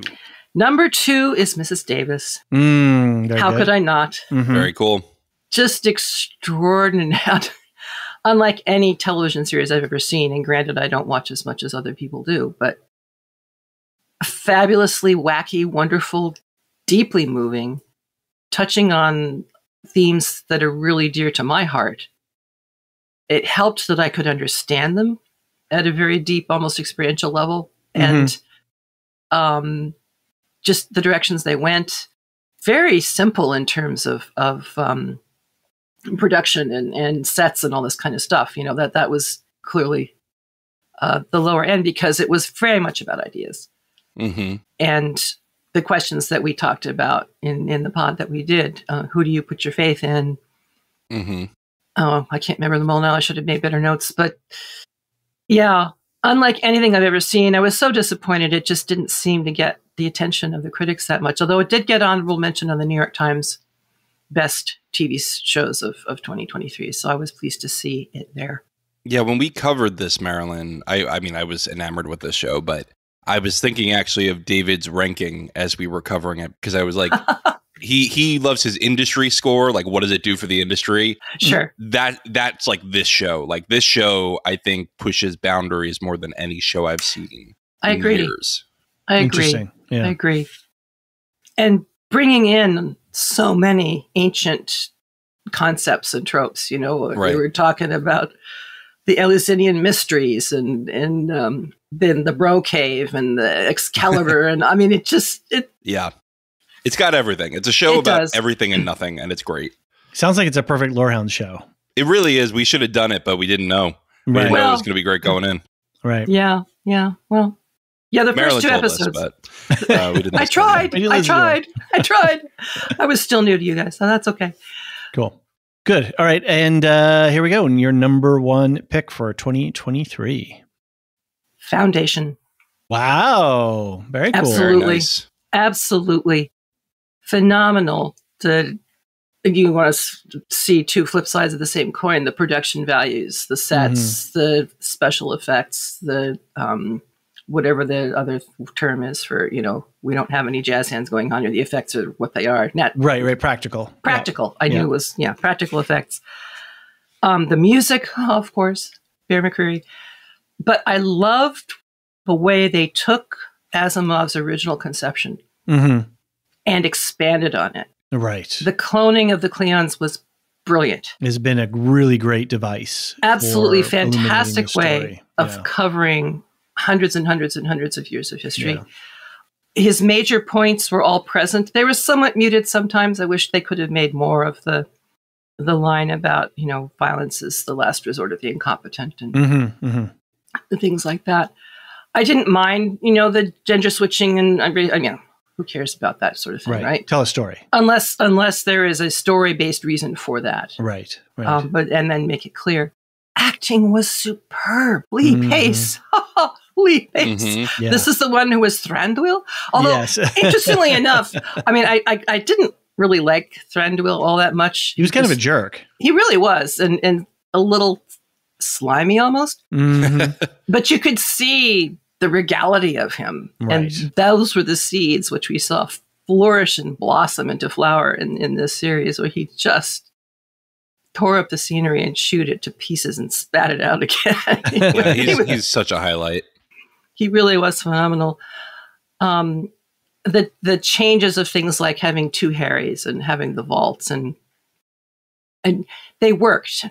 They really worked. And Mhm. you know me i'm usually pretty stern with with you know book to uh, visual adaptations on the if- Shippey if- test. if, they're tearing up the lore the Shippey test exactly Wait, and who Exactly. is it, John? I, I keep always forgetting. Is it Sanderson or is it uh, Rafe Judd? Who is it? The, the inspiration adaptation. That's. Brandon Sanderson. It was Sanderson. Okay, yeah. Mhm. So we've got the Shippey test, we've got the Sanderson test, Mhm. and then John just minted the uh, Tequila test, i'm so honored which is the is the violence more or less uh, than the Rings of Power, Rings of Power. season. So during which i do shut my eyes sometimes so well, but that's your. I, I consider That's the that your max. You know. yeah, okay all right Rings of Power okay. is your max. gotcha Um, gotcha the- I was watching Fargo and I was like, Marilyn would hate this. I, just, I was just watching. yeah the thought i came got to that my impression mind. i got that impression which is too bad because minnesota Oh, Right. it's a great show and it's got You'd a love the lot plot. of. Yeah, you would really love You'd the plot, but there plot. is a lot of violence. if we do a Yeah, sure. Tequila cut, violence. we could uh, you know take those, those bits out. just get Noah Hawley. Say, listen, we've got Marilyn Yeah. Arpakila here. That's right. You got to do a cut just for her. well my parents were born and raised there so Fair lots of connections Yeah, you would vibe a lot. You, And you would like it. It's all about Minnesota nice. It's that's that's the concept he's breaking down.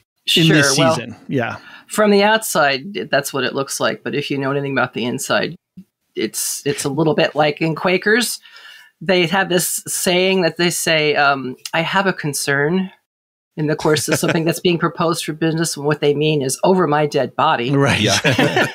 That's exactly what he's doing in this season. Is he's saying, well, if you took off, if you scraped off the superficial niceness on top, what's underneath? What do you Mhm. see underneath there? sure It's it's one of many things that he's playing with, but he's definitely Sure. playing with that.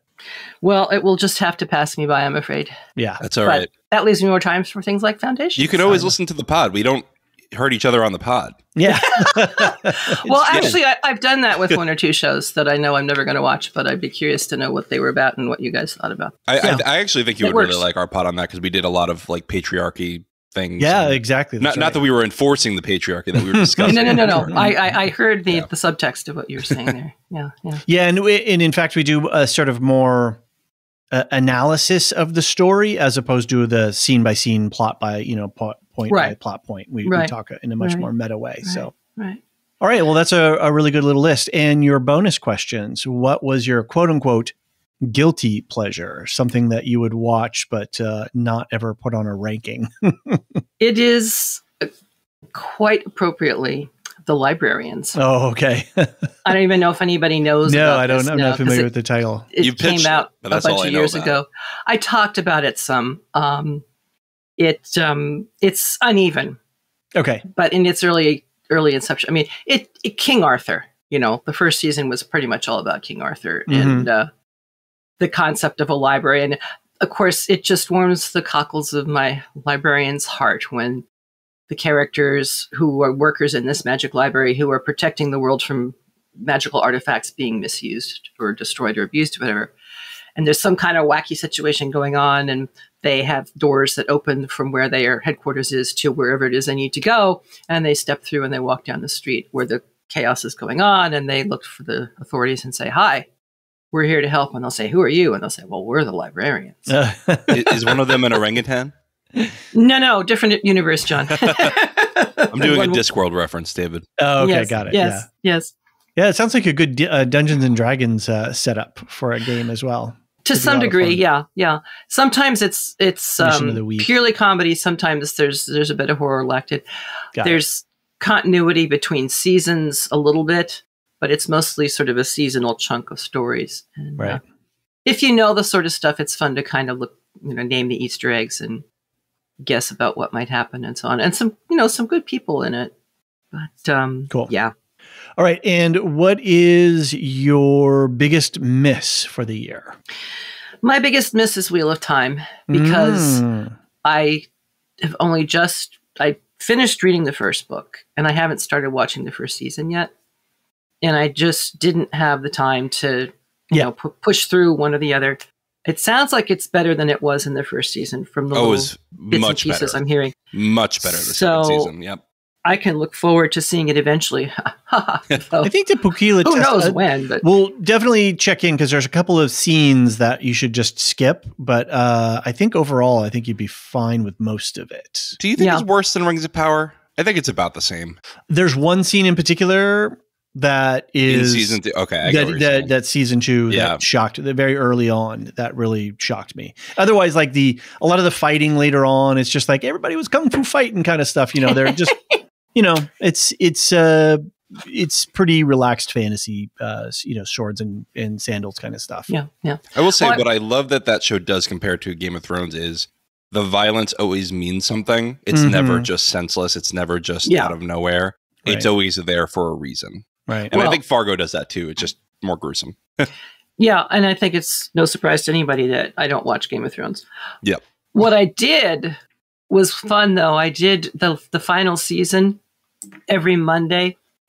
The New York Times would do a quick summary and review of what happened hmm and responses and things. So I kind of feel like I saw the final season fair enough without actually Then having you suffered any along with all of us. right without having any images, I had to scrape off the back of my eyeballs Right, afterwards. right, you know, right, right. so well when if was you get around to watching season one or two of wheel of time you know I'm, you've got Elysia and john here to clue you in of when to skip and and yeah, where to be careful so Great. Elysia probably has the episodes memorized, so I'd ask her.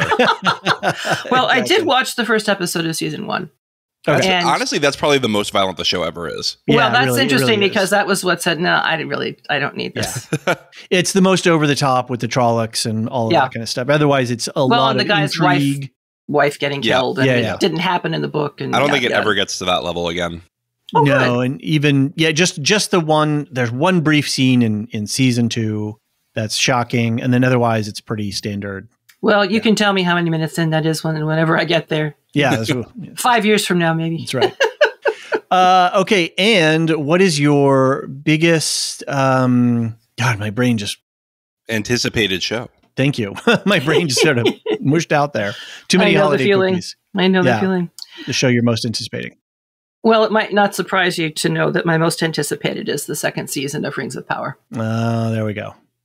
I am just hoping, I'm Mm. hoping that they will mend their three egregious flaws. And Right. um, I'm very curious to see how well they yeah see what they've to been up see what's what's coming next. What are they going to do? You know, with the things that they have already done for better and for worse. hmm And of course, I have a personal reason for wanting to see it, as you guys both know. Yeah. Given the major project that's coming along in my right life. right which technically speaking we're about to record something for that so uh, Right. Stay yes, tuned. we're gonna have an, an announcement shortly that's right All Very 12 cool. of you. Oh, No. stop. We- People in our reviews say that they love you. So just yeah Aw. it's absolutely true That's wonderful to hear. Thank you, folks. So- Thank you, listeners. Well thank you for uh, joining us on this fun journey it's fun to have you as uh, one of our quote-unquote istari and we look forward to a good 2024 It should be great. and I'm delighted to be along with you for the ride.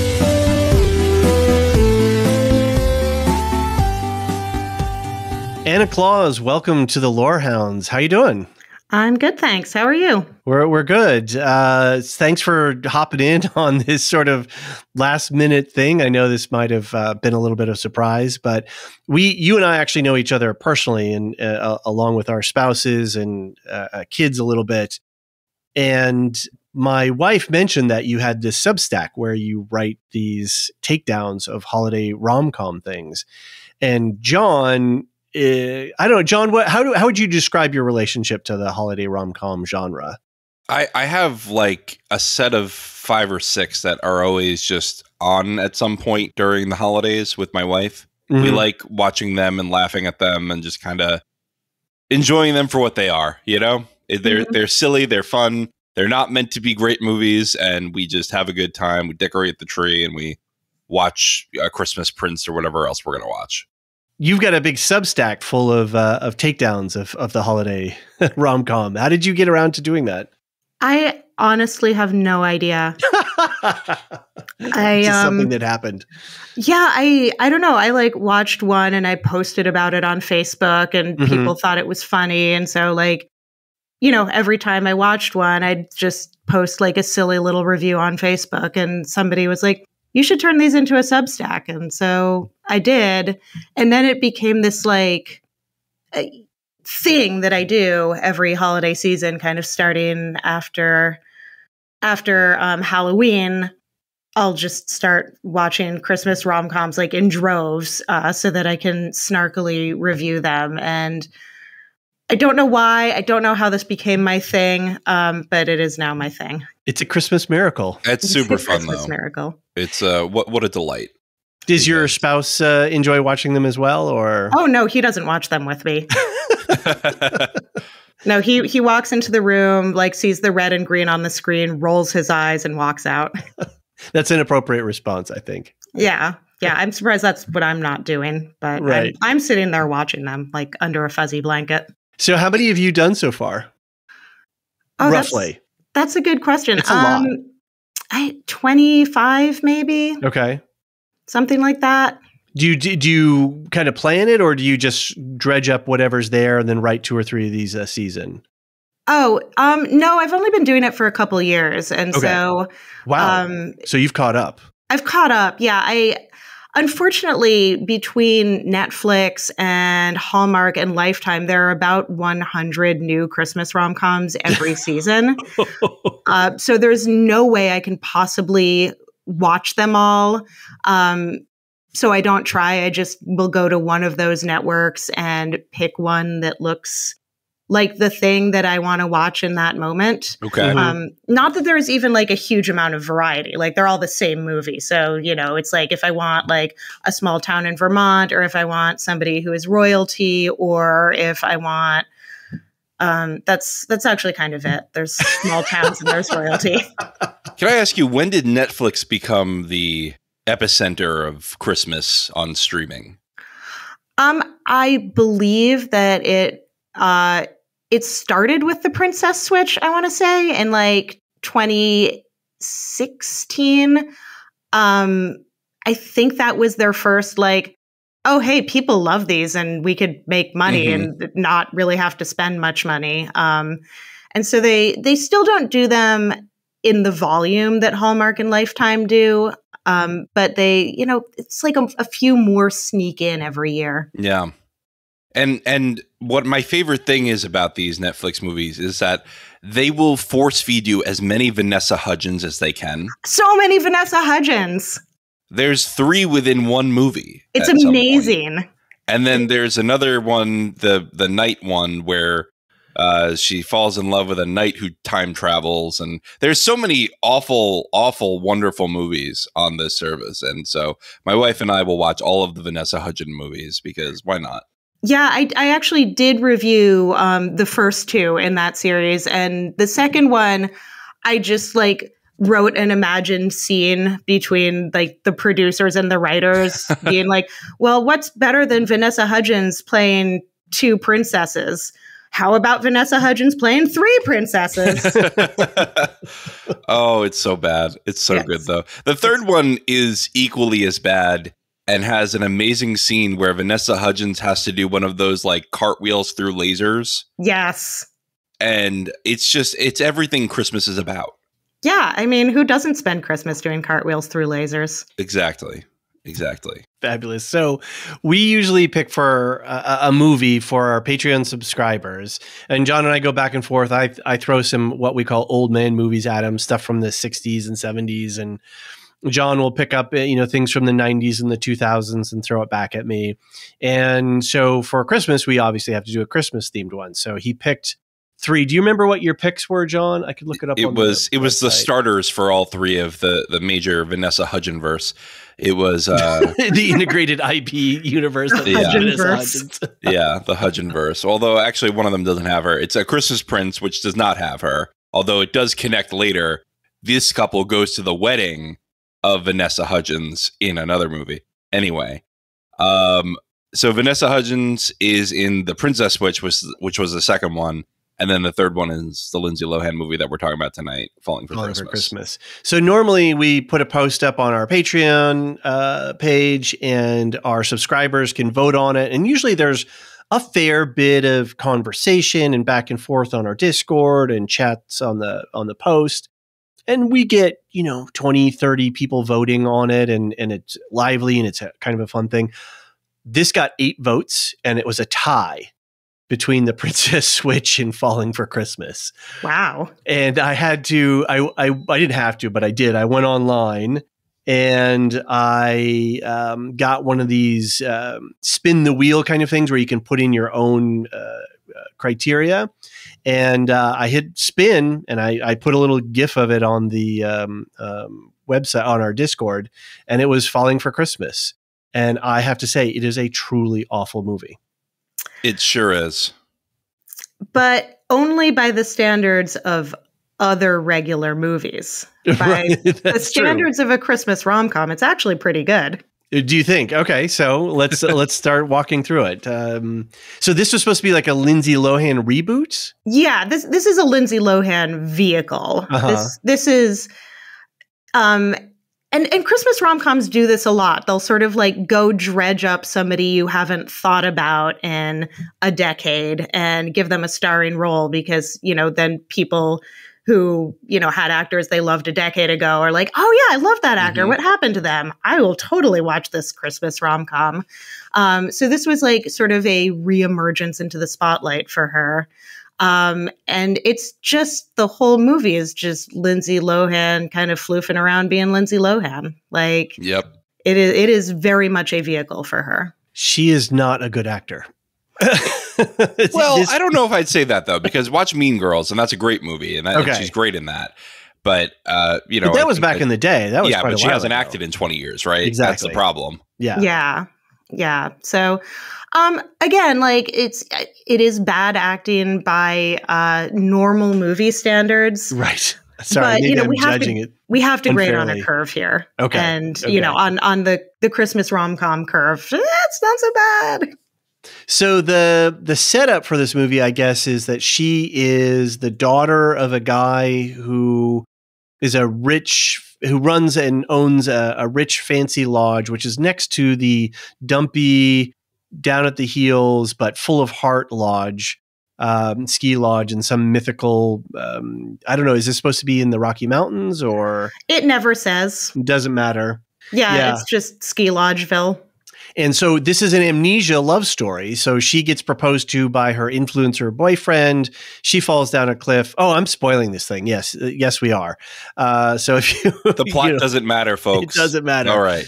She hits her head. She gets amnesia. She, of course, then falls in love with uh, the um uh, warm and fuzzy guy who's running the the lodge next door. Who, who by the way, the movie will not let you forget has a dead wife. Just every three minutes reminds you, oh, my wife is dead, and and just hits you over the head with it until you can't forget it. I mean, we could go on all day about the woman always dies trope and how problematic that is in media generally, but that's a big one in in Christmas nonsense movies, right? Oh yeah, no, there's there's almost always um usually it's a widower and Mhm. usually he has what I call the same 8-year-old girl who's in every Christmas rom-com. Oh, her Um, curls went on for days in this movie. Yeah. Yeah, and it's you know, she's always played by a different actress, but they always have the exact same personality and Mhm. they're like extremely positive and very well adjusted for somebody, you know, grieving their mother's death. Mhm. Um, and all they want is for dad to, you know, to settle down with a with a new wife and live happily ever after. And this one has the mother-in-law. as well, yes, which, who gives which is permission. unusual. There's Okay. Mhm. there's not always a mother-in-law, but in in this case, um, yeah, grandma is very much around, and um, they own the ski lodge, um, which is just you know funny because they're Latino and. There are not a lot of Latino owned ski lodges um, in anywhere that I know of, but maybe South America, um, Right. but not not in the United States. Not so in that the United was States. that was an interesting choice. That was a brave choice for them. Right, and then there were some um, uh, the mayor and uh, I think one of the Christmas village vendors were African American, which is trying to lend some credibility to. She has to. She kind of vouches for the main character, who's blonde and tall and hunky, and he's validated by uh, these people of color uh, for being such a good guy and having a warm heart and a generous spirit. Yes, which makes up for his total lack of personality. and and the mother-in-law just going, "Won't you please sleep with my son-in-law?" Just Right. the the whole movie. It's a little creepy. It is creepy. She's very pushy about it. Yes. So I th- one of the things I thought that was it was really interesting was this is an amnesia love story, right? She gets bonked in the head. She doesn't know who she is. It takes a while for them to figure it out, and when then they do, of course, there's a big dramatic reveal. But it's also um, uh, uh, it's a wonderful life story as well, because the lodge is failing, and they have to um, get the community's support to keep the lodge alive. And of course, Lindsay Lohan's amnesiatic character is the one who instigates the coming together of supporting this wonderful lodge that has been a part of so many people's lives. Yes. I have to admit, I have not seen It's a Wonderful Life uh, or Miracle on 34th Street. I, I don't do classic Christmas movies. I only do recent, terrible made for TV Christmas rom coms. Well, okay, th- this is It's a Wonderful Life minus all of the time trip or the fantasy tripping that George does, the the sort of angel that takes him around to the different realities that if he hadn't been around would have come to transpire and so he can see the uh, the true effect of his life and how many people that he's affected. But the idea that at the end everyone comes together to prop his business up because he's given them so much, it's now the community's turn to repay the favor to him. Which is not really how real estate works, but we'll let that slide. it's true but it's also a it's it's also a um a christmas magic movie because there's a creepy old guy with a big white beard who twinkles his nose and something magical happens Yep, that is uh it's the same creepy old guy who's in every Christmas rom-com and and that's another thing that you'll find a lot. There is often some guy who's like low-key Santa Claus. like they never spell it out, you know, he's not he's not wearing like the Santa hat. He's not necessarily in a sleigh, but like there's always some old dude with a white beard wandering around really kind of getting into people's personal business and nobody's like hey this is weird and uncomfortable and maybe you're an identity thief they're you know they're just like yes strange old man let me tell you about my quest for love and the magic of christmas. And he'll sort of like nod sagely and twinkle at them. And then like sometimes there'll be like a little sound effect like like some little you know bad movie sparkles uh, and then low key christmas magic happens. And it's it's shocking how often this happens in these movies. This this guy is pretty pretty everywhere. Okay. He's nobody is scared this um and this actor is really for this particular movie is very distinctive. He's huge and um kind of kind of i don't know. He had a weird vibe to him. I don't know if i'd want him winking at me. And then he just gives a sleigh to jake jake the main character. He, he you know he, he, it's the big moment where he has to go chase down the love of his life and tell her how he really feels. And the the horse baltazar of like what what is that name but they they rig up a sleigh that is like this pristine beautiful thing and he charges across town uh, riding this thing to confront um, you know his the love of his life that he's gonna you know confess to her how he truly feels. It's important that it's a new sleigh because his previous sleigh was sort of breaking down. Right. Um, there's there's a scene where he takes um, some so, some of the few guests staying in his lodge on a sleigh ride, uh, and a, like a part falls off right before they start.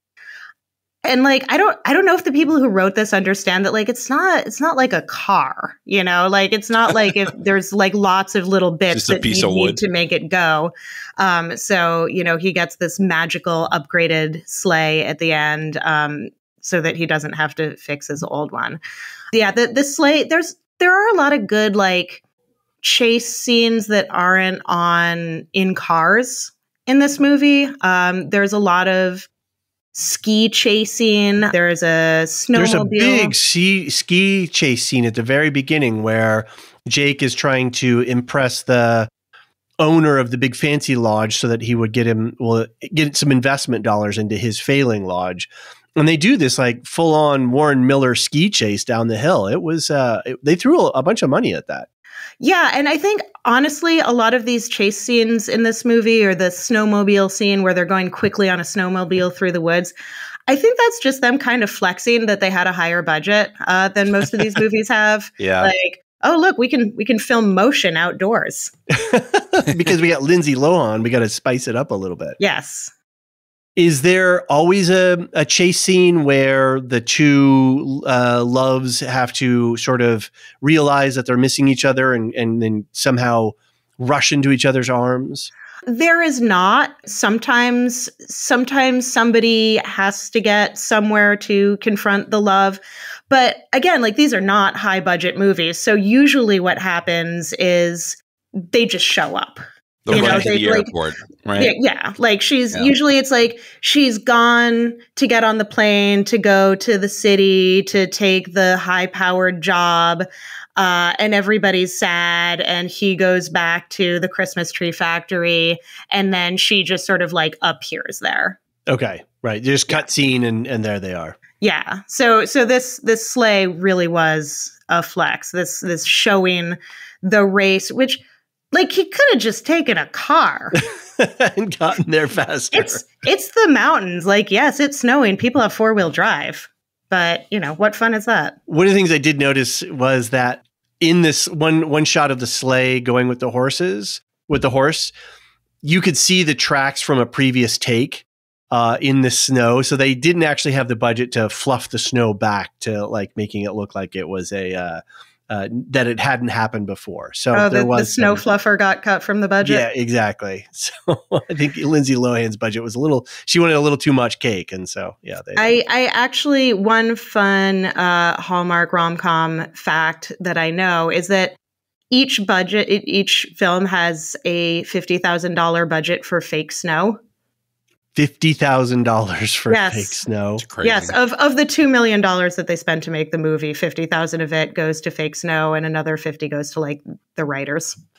Wonder what they're doing for fake snow these days. I thought it was like torn plastic that when it stretches, it turns white. It's apparently like a mix of things. It's Okay. like plastic and paper and some goo and stuff. Depends on what kind of snow you want, I guess. I guess there's different mixtures. Well, it's always fluffy. Okay. Like they're not going to have like wet, sad snow in a, in a Happy Christmas movie. it's true. They're not going to have a Parking lot winter snow, remix. right? The, I, I thought in this movie the the ending montage of the memories of them together was a really great way to buff out the the total minutes of the movie, just to Mm. fill in a good two or we three love it. filler yeah, filler minutes. So and, and I just couldn't understand who the hell has a cr- a, a press conference on Christmas morning. Yeah, that's um I mean people in Christmas rom-coms. Um and this this Yeah. is another thing that that happens a lot in this world that doesn't happen in the regular world is you can draw a crowd on like a holiday that people traditionally spend with their families. You can you can get everybody to like leave their Christmas tree and their coffee and come out to your Christmas festival or your fundraiser or your marriage proposal. Uh, people are going to show up for it. Amazing. That's a great point. I never thought about that. Like the Princess Switch, they have like a, a baking competition on Christmas Day that everyone's just got to go to. Yeah. It's just you just can't miss it. There's there's this plot line in like the Princess, uh, the Christmas Prince three, where they're like, we have to sign our contract, our treaty before it expires on Christmas, or we'll be at war. And and it's just like there's so many dumb ideas regarding Christmas in these movies, and I love it. A lot of travel is supposed to happen on Christmas. A lot of times, you know, she if if the thing doesn't happen to keep her in the small town, she is going to hop a plane to back to the big city on Christmas Day. A lot of lot of travel happening on this traditionally very um, homebound day, Yeah, like you're gonna go accept your big corporate job on Christmas Day. Are they open? right? I feel like that's the one day they're probably not open. Like I, you know, there's many many high power corporate jobs where you might be working on New Year's Day or Eve or something. Fine, but like Christmas Day, I don't think they're open. yeah, like the 7-Eleven's not open. Like I, Yeah, you know, yeah. Corporation Inc. is probably also not going to be open. Are all these movies pretty hetero heteronormative? Um, Not this Um, one. Yeah, well, Um, there is a def- there's George definitely has a, a different agenda going on here. The uh, yeah, there's there's a weird boyfriend. gay subplot right at the end of this Yes. one. I think it started earlier with the guy in the cabin in the woods. Yes, I totally thought that they were going to hook up. Oh, Ralph. Ralph. I there was definitely tension there. Yeah. I mean, time. there was like a a kiss. Like he doesn't he like grab Ralph's face and just plant a big one on him, but it's very much like an I saved you saved my life kiss, not a like I want to slip you some tongue kiss. I didn't get that subtext at all, but now now I'm rethinking everything. There there's a some scenes where he's in the cabin and when they're on their hike and things like that where it was I really thought they were going to go for it. That, Huh. that, that that's where it was going to end up. But then to just take the personal assistant at the end, oh, you'll do. Come on, jump in the back of the Hummer. Yeah, that's like I, I couldn't tell if he was like poaching him or propositioning him. I think it was pretty clearly proposition. That's to me. I don't know, John. Did you? What did you read on that? Oh, I buy it. Yeah. I buy this chemistry. Yeah, Yeah, I mean they they probably had more chemistry than anyone else in the movie. I think you. Oh my god, he taught right. me how to do chores, and so I'm in love with him. Also, Yeah. I know this town well enough after two days to organize a whole meeting greet where everyone's going to shower this lodge with money. I mean she handed out flyers. That's true. Like Everyone that, knows know. if you hand out a flyer, people take it with joy. And yes, listen people to love what's on it. flyers. Fabulous. Anything else that we should uh, think about when we are thinking about this movie? Any other interesting tidbits or under the scene? I I think we may have covered all of the really good stuff. Okay. You know, there's there's a little dose of holiday magic. There's the third generation ski lodge. Oh, one fun tidbit is um, the so the the Belmont, which is the very fancy hotel owned And they kept showing the pool that was in the glassed in deck. That that was a constant drone shot. Yes. So that and the little rundown ski lodge, um, the the North Star Lodge uh, that Jake runs, those are actually the same resort. Oh, really? Yes. Physically. yes, they're physically part of the same resort, which is Interesting. the That's funny. Goldener Hirsch um, in Park City, Utah. Okay. And they, you know, they just they have like a very modern part, which is the hot tub part, and then they have like a rustic Austrian inn situation. So does it cost more to stay in the rustic Austrian inn?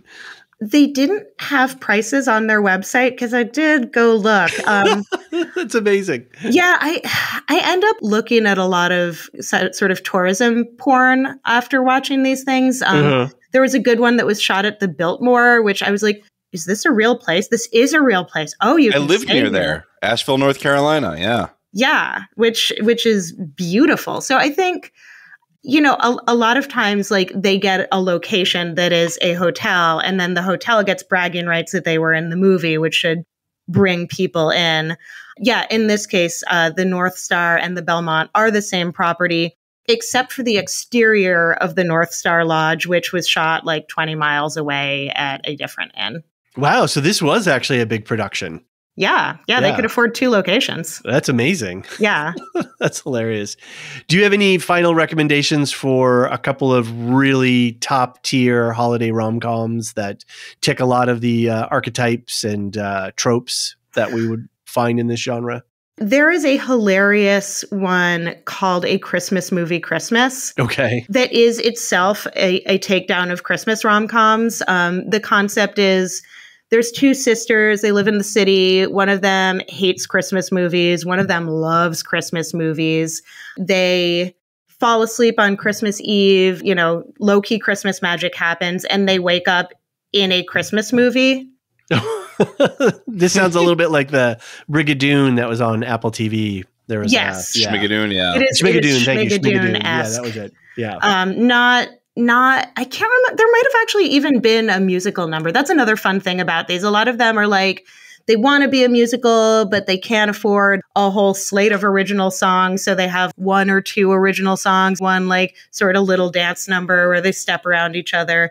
It's very cute. But yeah if you want all the stuff that is also self-aware of all the stuff i i highly recommend a christmas movie christmas. It's amazing. Anna Claus, thank you so very much for swinging by. This was a lot of fun to talk to you, and uh, hopefully we can talk to you more in the future around uh, the next holidays. Where can people find you? How do they find the Substack? uh, it is annaclaus.substack.com That easy as, I- as it is. I think. You think? Okay. check. We'll put a link in the show notes for the episode. So Oh my goodness. Uh yes, it is Anna Claus with two N's, perfect. all one word, dot substack dot com. Yes, I know the URL of my own site. Well, I'm I'm excited to uh, check it out more, and thank you so much for being with us. It's been a really fun time chatting with you about Lindsay Lohan getting bonked in the head, and uh, hope you we can come back next year. Yeah, well, thank you for having me. This was so much fun. I love talking about Lindsay Lohan getting bonked in the head. It's my favorite. a great way to end our, our Christmas. All right, Anna, thanks very much. We'll talk to you soon. okay, take care.